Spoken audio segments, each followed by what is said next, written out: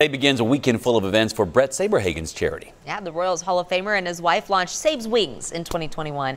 It's a nonprofit that pays the bills for cancer patients. Saberhagen and his wife came up with the idea after her battle with breast cancer. You save for a house, you save for a car, you save for a vacation, you save for a lot of things, but cancer is never one of those things that you're going to put money away for. And it's crazy how many people actually live it the unbelievable expense too. So here's sure. the schedule of events. Today, RX Savings Solutions will host a fair at their Overland Park headquarters. And Sunday, Saberhagen will host a VIP dinner and benefit concert and a celebrity golf classic on Monday. So what a wonderful idea.